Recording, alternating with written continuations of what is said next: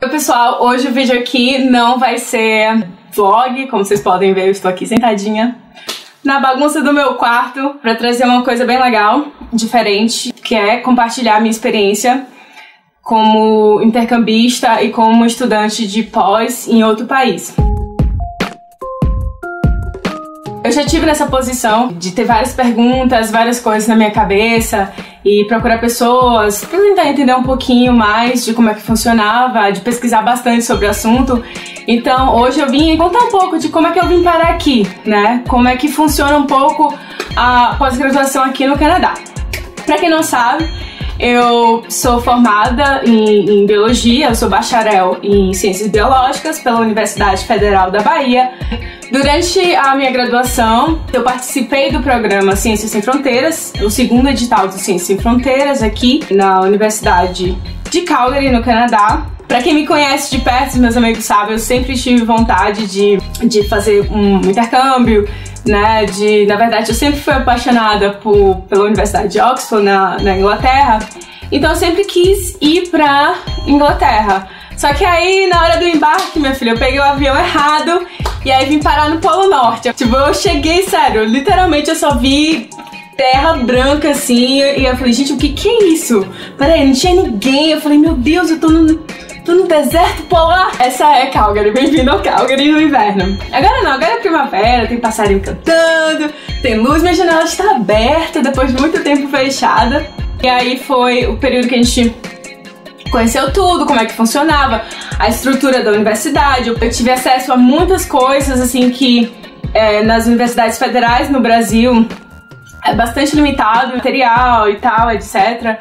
É, porque, enfim, né, recurso público e a gente sabe os cortes que tá tendo na educação no Brasil, então é bem limitado. Aqui tem, a, tem uma estrutura melhor, né, digamos assim, comparado com as universidades federais, né, você tem mais, você tem acesso a mais recursos, no caso. Então, durante o programa do Ciências Sem Fronteiras, né, a gente tinha que fazer um, um estágio. Então poderia ser um estágio na indústria, para quem é, era da, da área mais industrial, ou um estágio na pesquisa. Então você poderia procurar um laboratório, procurar um professor e falar: olha, eu quero fazer é, esse estágio aqui durante quatro meses. E pensei: bom, indústria pra mim não rola. É, eu já tinha tido experiência né, com iniciação científica no Brasil, durante a minha graduação, eu trabalhei com a leishmaniose, eu já tinha experiência com outros projetos envolvendo a leishmania, enfim, os parasitos. E aí eu falei, ah, eu tenho conhecimento nessa área, então eu vou procurar um professor que trabalhe com isso. E, eu, e aqui no Calgary a gente tem um grupo, agora tem, tem dois grupos, mas antes tinha esse grupo é, do meu professor, professor Guedão. Ele, para quem não sabe, ele é etíope, né? Mas ele já mora aqui há muitos anos. Ele tá aqui, nossa, acho que desde a fundação da universidade ele tá aqui. Eu não tava confortável em falar então, assim, é uma coisa que todo mundo tem é, logo no início, que é aquela coisa de você se comunicar com as pessoas em outra língua. E eu ficava toda encabulada, eu, toda envergonhada, assim, cara, não quero. Mas eu falei, vamos, Rodrigo. Rodrigo, ó, te amo, sério. Você salvou minha vida. Arrastei o Rodrigo até o laboratório. E aí ele foi comigo pro encontro que eu ia ter com o orientador, né? Eu botei esse Rodrigo na frente, eu vai lá, Rodrigo, vai, conversa com ele.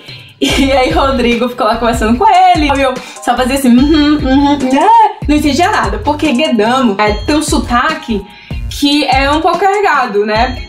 Assim, aquele sotaque é, é difícil entender um pouco é, o que ele fala no início, né? Quando você não, não, tem esse contato com ele, quando você não tá muito ok, né, pra deslanchar, falar inglês assim, uh, fluentemente. Foi bem complicado entender o que ele tava falando. Depois eu falei assim, ei, Rodrigo, o que foi que ele falou? Brincadeira, ele foi uma pessoa, assim, maravilhosa, ele me viu lá e tudo, né, quietinha, assim, só concordando com a cabeça. E aí eu falando, fal tentei falar, né, do meu jeito, e o Rodrigo também me ajudando, que eu queria fazer esse estágio, né, que era do Ciência em Fronteiras, que era uma coisa assim obrigatória e tal, e que eu já tinha tido experiência com leishmaniose, né. Daí ele falou, não, tudo bem. E aí nisso, que era pra ser quatro meses, acabou que foi até terminar o Ciências Sem Fronteiras, então foi assim, um ano, eu fiquei um um ano no laboratório dele aqui. Eu penei um pouco, né? estava acostumada a trabalhar num laboratório cheio de gente, que a gente tinha que se matar para conseguir pegar o equipamento vago, né? Falei assim, não, eu vou usar esse equipamento, mas tinha lá a lista, né? Pra coloca, coloca teu nome e a hora, porque era muita gente que usava tudo, o laboratório era muito cheio, mas a gente tinha um suporte um do outro, né? Então a gente é, acabava que tinha alguma dúvida, alguma coisa, então sempre tinha alguém que tinha mais experiência que poderia ajudar a gente, poderia vir com a ideia e falar, não, vamos tentar isso e tal. Então, porque duas cabeças, né, duas ou três, acabam funcionando muito melhor do que uma só. Então, no meu caso, era eu, uma outra estudante, é, Fartum, minha amiga, que por acaso, foi a que, sério, eu sou muito grata a Fartum, que foi a que me ajudou muito com essa coisa, desenvolver o inglês, porque Fartum adora conversar, então a gente conversava muito no laboratório, né? E o estudante dele que já tava pra sair, e tinha o outro estudante que, é, tinha, que era estudante dele, ex-estudante de Guedamo, só que fazia o pós-doc em outro laboratório, só que era no mesmo prédio, então a gente, eu direto mandava mensagem pra ele, a gente se comunicava e tal. Mas praticamente era eu no laboratório com meu projeto sozinha. E aí aconteceu que outra estudante, quando eu tava perto de ir embora, ela se juntou. E aí foi que as coisas começaram a ficar mais dinâmicas e tal. E, e aí foi o momento que eu tive que voltar pro Brasil, né? Aí eu, poxa, né? Eu tava desenvolvendo as coisas e agora eu tenho que voltar e tal. Mas é isso mesmo, né? A vida segue e acabou. E aí eu terminei, né, o Ciência Sem Fronteiras, eu voltei pro Brasil em 2014. Aí eu voltei pra o laboratório que eu fazia iniciação científica, né, que era a Fundação Oswaldo Cruz, o, o Centro de Pesquisa Gonçalo Moniz, aí em Salvador. E aí continuei, né, na faculdade para terminar e, e com a pesquisa em paralelo. Só que aí eu tava querendo me formar logo. Por quê?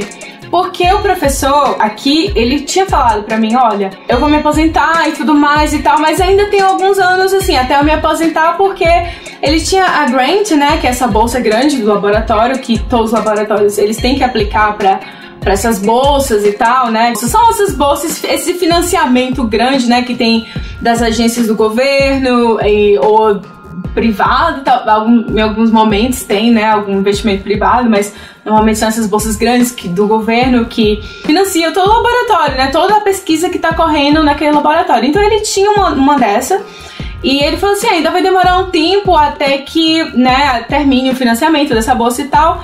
Então se você se formar e voltar logo, talvez você consiga fazer um mestrado aqui comigo. Eu falei, então, tudo bem. Só que ficou no ar, não foi uma coisa assim, tipo, ah, você vem fazer o mestrado. Não, foi uma coisa assim, é, talvez isso aqui é uma possibilidade.